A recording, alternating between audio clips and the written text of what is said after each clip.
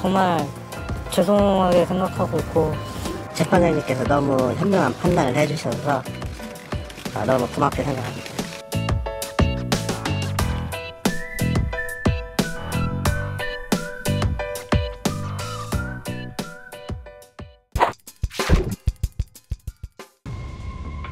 Welcome to Video의 운영자 손 씨에 대한 범죄인 인도 심사 신문이 세 차례에 걸쳐 열렸습니다.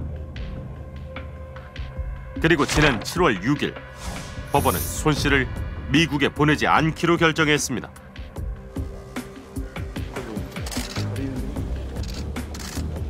손 씨는 자유의 몸이 됐습니다.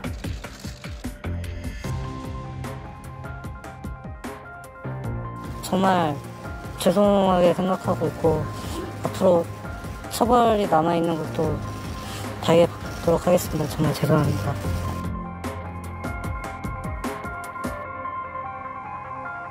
재판장님께서 너무 현명한 판단을 해주셔서 아, 너무 고맙게 생각합니다.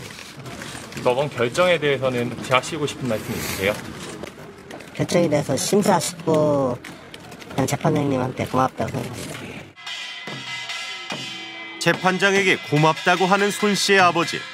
그런 결정을 내린 사법부에 시민들은 분노했습니다. 범죄자 측에서 현명한 판단에 감사하다는 말이 칭찬으로 들리십니까? 이 말은 범죄를 눈 감아주어 감사하다는 뜻입니다. 대한민국의 재판부가 정당한 처벌을 내릴 수 있는 곳이었다면 손정우는 왜 이리도 강력하게 한국에서 처벌받기를 바랬는가? 아동 구호단체를 비롯한 시민단체와 법조계 등 각계각층에서 손 씨의 미국 송환을 불허한 사법부의 결정을 강도 높게 비판했습니다. Welcome to Video 관련 수사를 담당한 미국 연방검사의 입장을 물었습니다. 미국 시민들에게 큰 영향을 끼친 세계에서 가장 위험한 아동 성착취 범죄자 중 한 명에 대한 인도 거부에 실망했다고 밝혔습니다. 국제 아동 성착취 근절 단체도 강한 유감을 표명했습니다.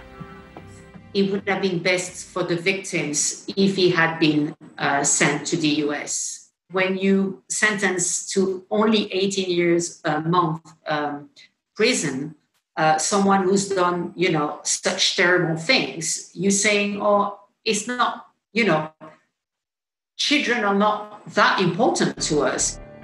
법원은 왜 손 씨를 미국에 보내지 않은 걸까? 첫째는 사법 주권을 지키기 위해서라고 합니다. 그 사법부가 내세운 건 이상이에요. 어떻게 보면 이상적인 모습이죠. 왜냐하면 우리나라가 사법 주권을 가지고 우리가 부수적으로 이 범죄에 대해서 발본색을 할 수 있다.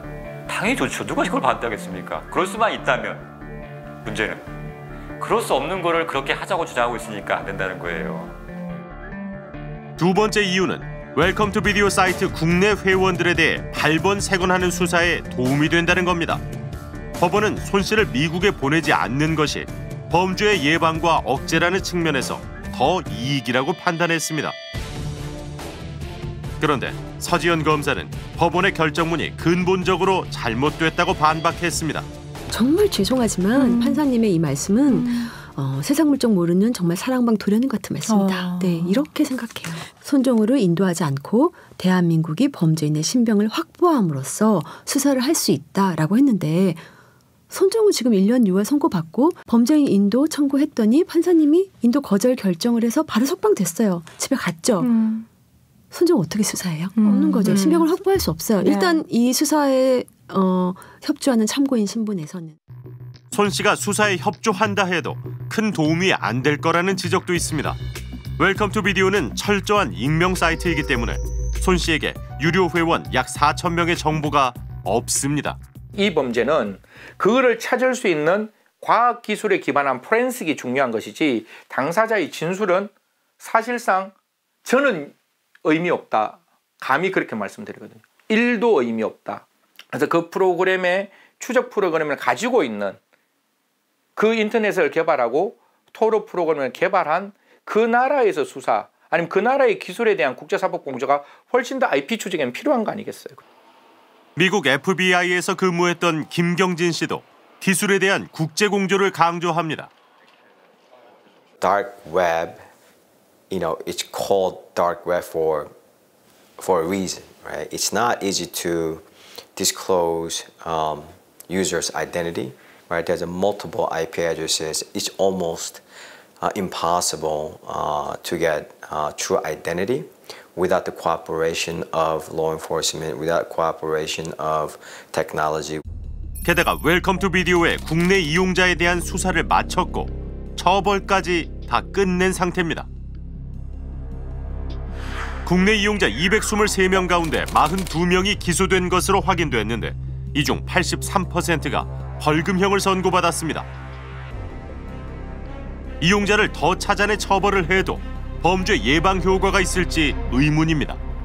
1년 6월밖에 선고하지 않는 사실 어 그냥 일반 재산범죄랑 비교해도 말도 안 되는 형량을 선고해 놓고 사법부의 신뢰를 스스로 저버렸는데 그렇게 해놓고 우리가 더 잘 수사하고 더 잘 재판할 수 있어 이 말을 다시 불허결정 때 반복한 거거든요.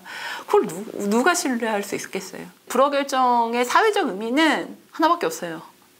아무리 나쁜 짓을 하더라도 잘만 하면 빠져나갈 수 있다. 범죄 예방 효과로 봤을 때는 사실상 이걸 보내서 처벌하는 게 굉장히 높아요. 왜냐하면 아 내가 이런 거 이런 걸 범죄를 꾀하고 있는데 야 이 잘못하면 미국에 보내서 20년 동안 나를 가둬둔대. 라고 하면 할 사람 별로 없을 수도 있단 말이에요. 그러므로 불구하고 일종의 자존심을 내세워서 안 보내겠다고 하는 거는 오히려 이 범죄에 대해서 발본색원할 생각이 없는 거 아니냐라고 받아들일 여지가 있어요. 재판부의 송환 불허 결정 4일 뒤 법원 앞에 천여 명의 시민들이 모였습니다. 사법부가 강효수는 김정은은 대통령이 사법부가 사법부가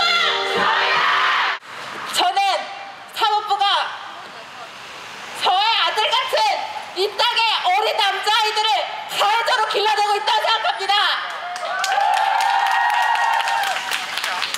애들이 뭘 보고 배우겠어요 정말로 1년 6개월만 사면 살면 감옥에서 나오면 미국에도 안 보내고 제 걔네 아빠가 막 탄원해주고 신상 공개도 안 되고 서울 땅 멀쩡히 밟으면 살 수 있다더라 사법부는 가해자를 지켰고 성범죄를 지켰고 강간 문화를 지켰습니다 그들은 그 누구보다도 정의를 추구해야 하는 사람들이 아닙니까? 그러라고 월급 더 주고 존경하는 재판장님이라고 부르는 거 아닙니까? 사법부가 제 역할을 하지 못하고 있다는 비난의 목소리가 터져 나왔습니다.